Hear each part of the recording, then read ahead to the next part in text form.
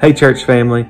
Pastor Andy asked me to make a video talking about what I've learned as a new dad this year. On December 6, 2019, Annie Grace came into our world. See? Isn't she pretty? This cute girl changed my life for the better. I've learned many things over the past six months, kind of like how to change a dirty diaper.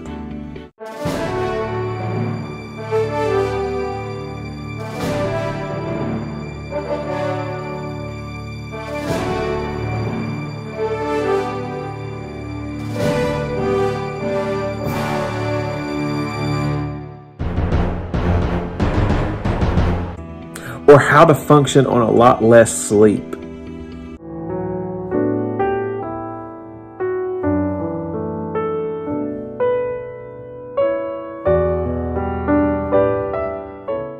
Or even how to multitask.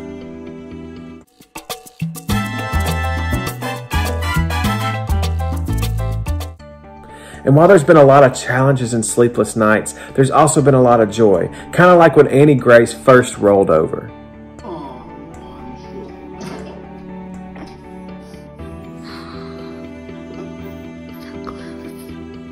Oh my goodness, you did it! Or what about when Annie Grace first tried bananas?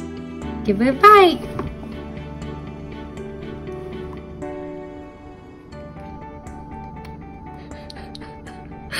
What?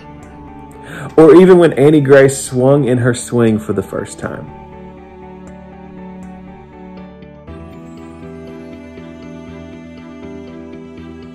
Being a dad has taught me so much about God's love for me.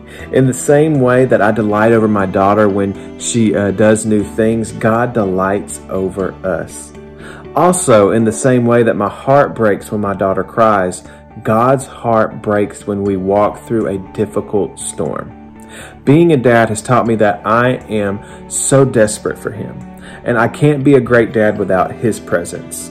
I pray more now than I ever did before, but that's because I need the best Father, God, to teach me how to be the best Father to Annie Grace.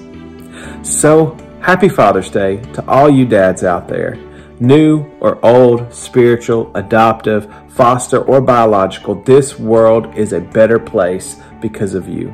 So keep doing an awesome job leading your family closer to the Lord. Your influence matters tremendously.